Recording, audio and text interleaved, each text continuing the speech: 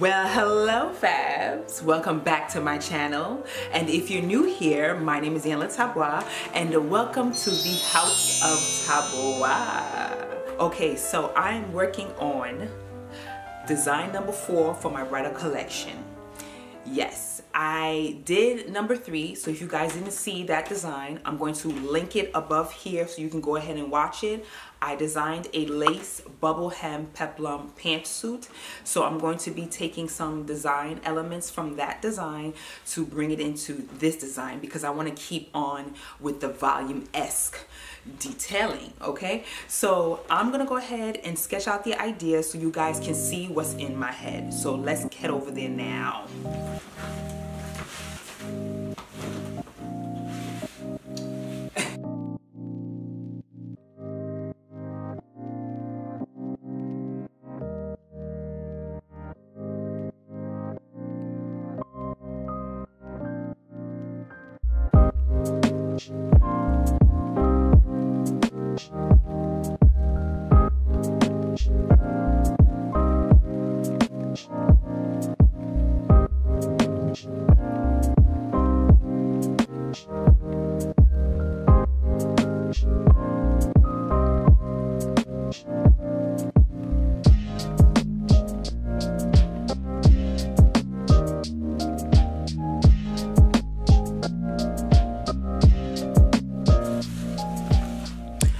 so here's my rough sketch.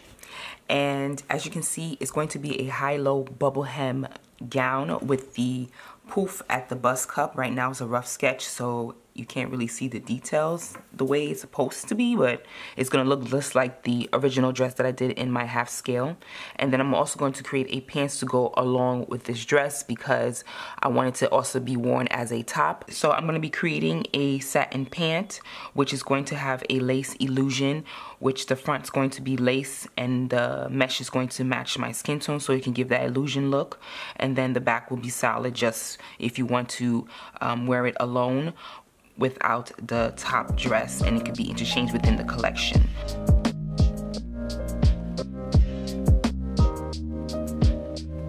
Okay, ladies and gents. So we're back at the dress form as usual and I'm going to get ready to create my design. So this is already uh, a design that I did before. I'm not changing it because I might be using it again. So disregard this design. Uh, I'm going to go ahead and lay out the neckline design using the draping tape.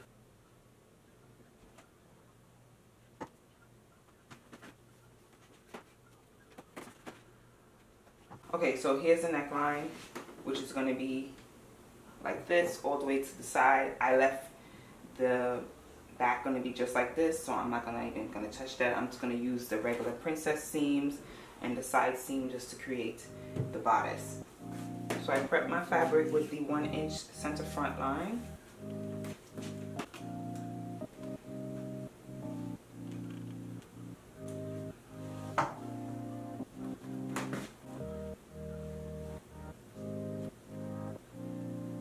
So I have my panel fully draped, the first panel. So what I'm going to do is just basically follow, whoops, follow the neckline detail.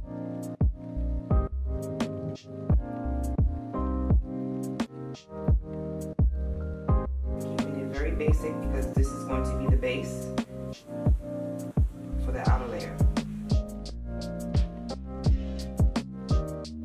Once that's complete, I go ahead and repeat the same process again for the other panel.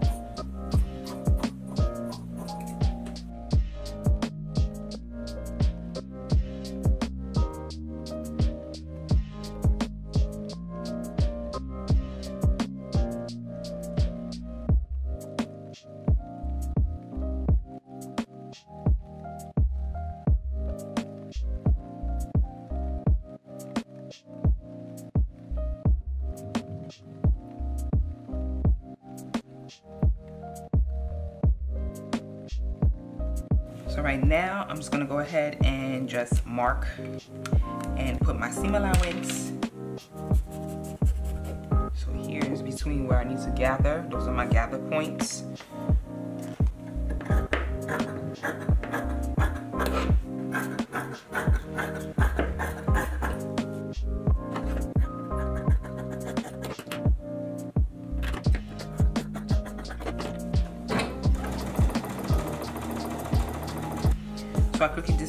Stitch right here at the top just to gather it up so I can see when I put on the dress form. Just gonna pull this in, pin this back.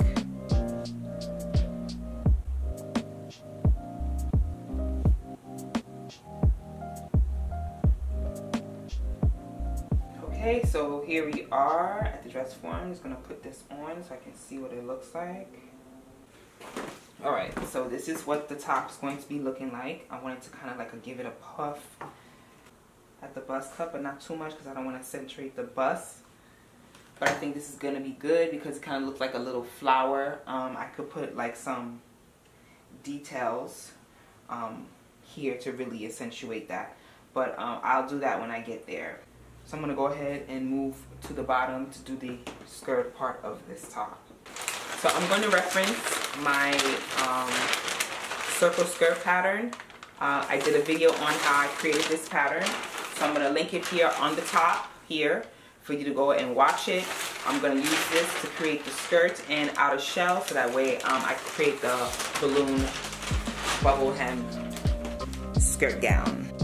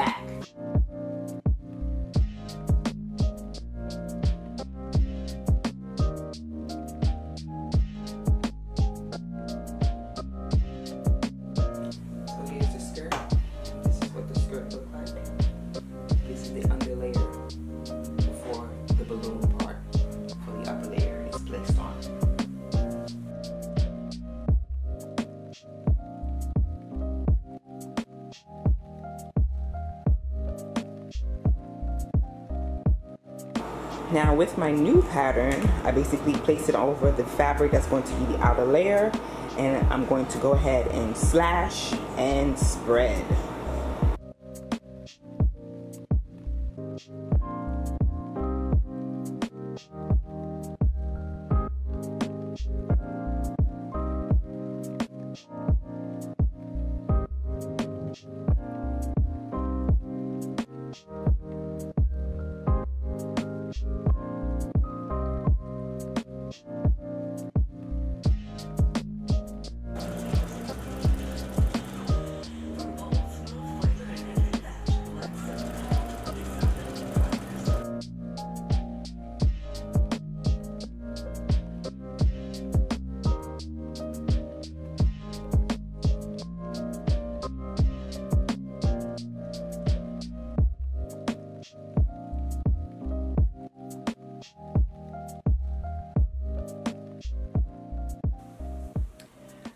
See this is the skirt.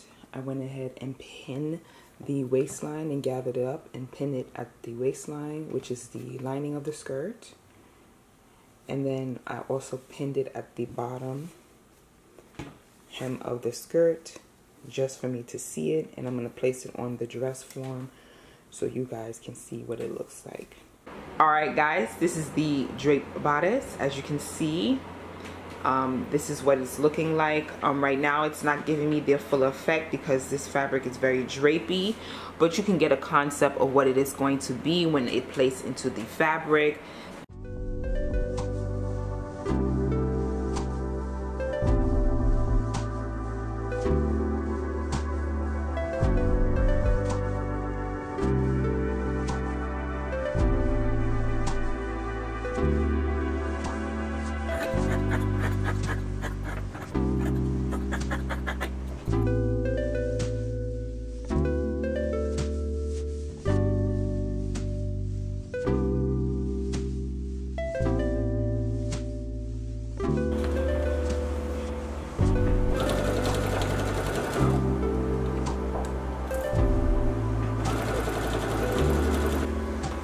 So I went ahead and put the under bodice together and then now I'm going to create a whole casing so that way I can put my bones in. So I'm just going to push the seam allowance towards the seam and just top stitch for the placement of the bones.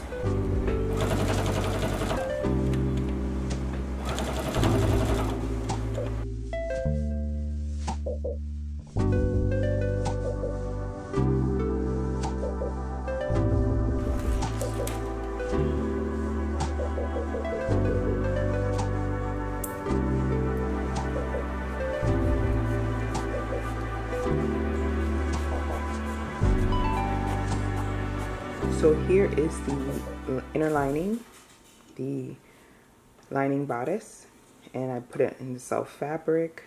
I put button loops, and I also did put in my boning. Um, I used the seam allowance casing to create the case so that way I can apply the bones. So this is all done.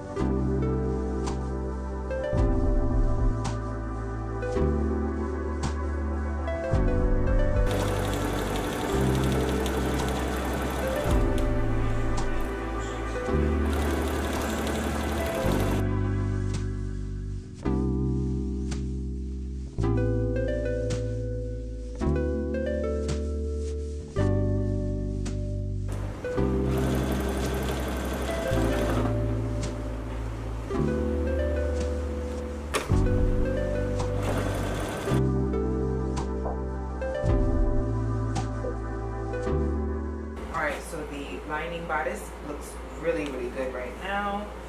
I'm liking the way this looks. So let's get started on the outer shell.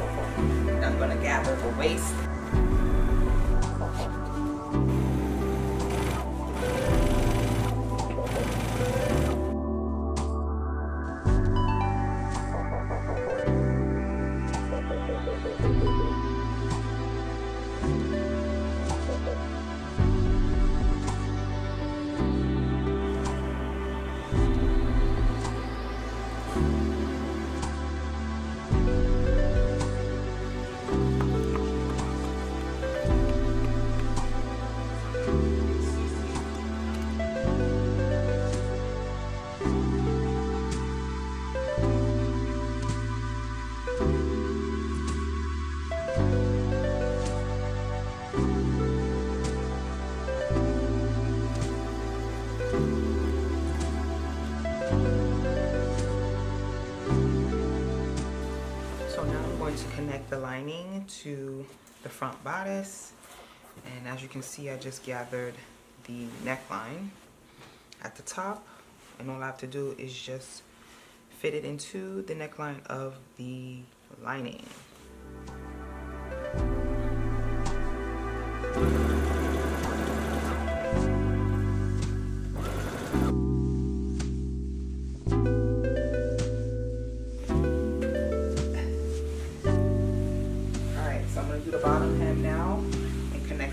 My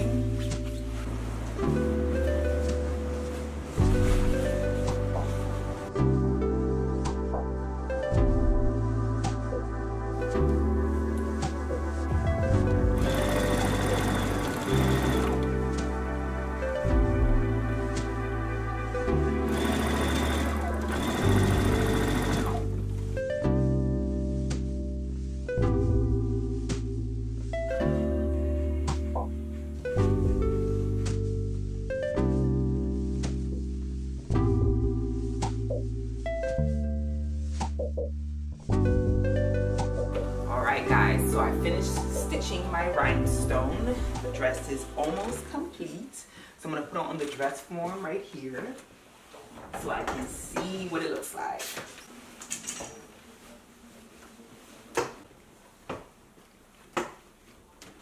I think she is very cute. Um, I'm thinking about I should have put crinoline on this waistline right here, but it probably would have been too bulky. So I went ahead and did some um, gathered some tulle, some stiff tulle, heavy. And I'm going to place it on the inside just to give this more volume.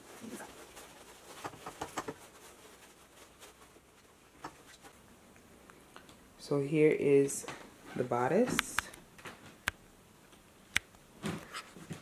So I went ahead and put some rhinestones here along the seam.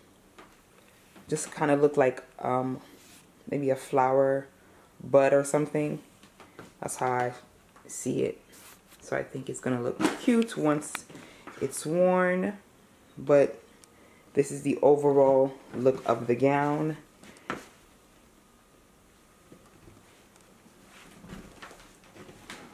And I love it. All right, so this piece is finally done. And now it's time for me to move on to the pants. Now, the pants gonna be a lot of steps, so I'm not gonna do it on camera. I'm gonna do it off camera, but I will show you a little bit details behind the scenes of how I'm creating it. Um, after that, and then I'm gonna cut into showing you guys the final full look, honey, because this bridal piece is a bridal piece, okay? So stay tuned for that.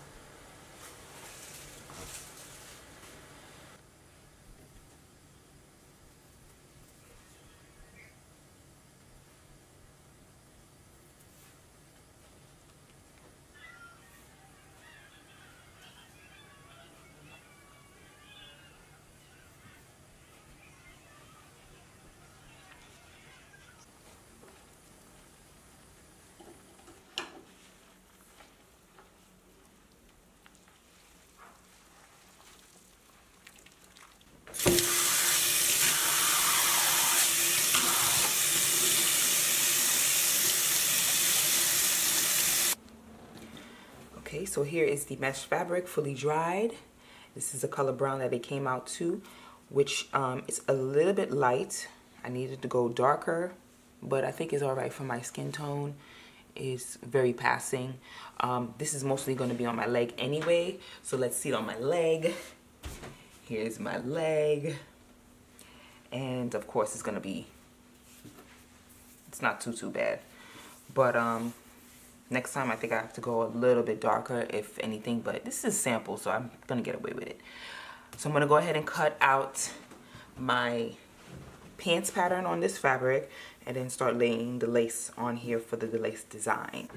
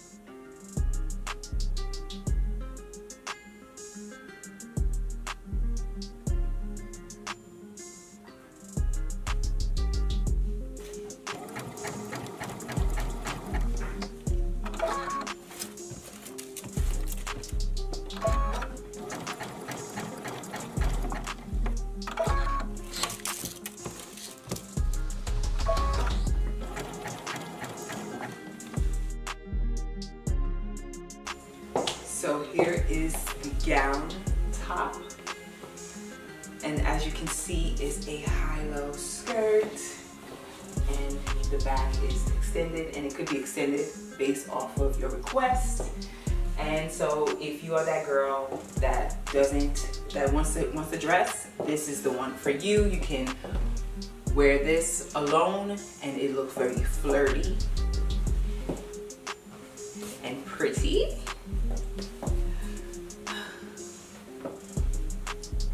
So here is the skirt up front. And as you can see, I put the rhinestones along the seam. Kind of wanted to do like a stem flower-esque situation, but I think it was gonna be too busy. I wanted to keep it very simple and simplistic. Now, I did the pants to go along with this. And let me show you the pants that I did. These are the pants that I created. And as you can see, it has some rhinestone draped down, cascading down to give it like a little fun flare uh, moment, fringy moment. So this is look one. Let me know what you guys think of look one. And let's put on the pants you guys can really see what it's giving. So this is what it looks like with the pants underneath. And as you can see, it gives a little cute coverage, a little detail, lace detailing. And up close, you guys can see the fringe details that is happening. This is perfect for a little dancing. You have a whole reception going on, these would be perfect for the dance floor. Cha-cha, la-la, yeah-yeah, ha-ha. Okay. All right, guys, so let me know what you think about this look, if you prefer this one over the first look. Um, and I have a final look because, again, the collection is supposed to be for interchangeable. So I'm going to take another pair of pants that I did for the last design to add it with this. Instead, if I didn't want any lace work, I just wanted to have a one white ensemble. I'm going to show you what that looked like. Okay, guys. So this is the final look. And this is a full pant on ensemble. Um, as you can see, it's paired with the taper pants from the last design. And so if you want to go this route, you can. Um, you can have a whole white bridal look, which will be a pants look overall. So it's three different ways, which I love the fact that you can interchange it and make it what you like. So this is the third look. Let me let me know what you guys think and which look was your favorite. This is it for the video, guys. Thank you for watching. I hope you enjoyed it. And stay tuned for my next design because it's going to be another grand one. We're getting very couture.